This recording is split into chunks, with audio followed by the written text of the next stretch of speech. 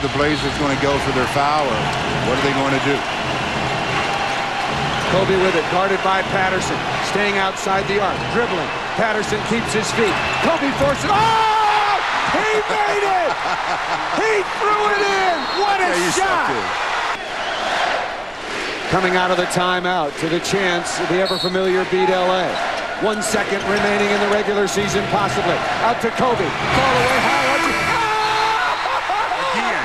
What a way to finish! Are you kidding me?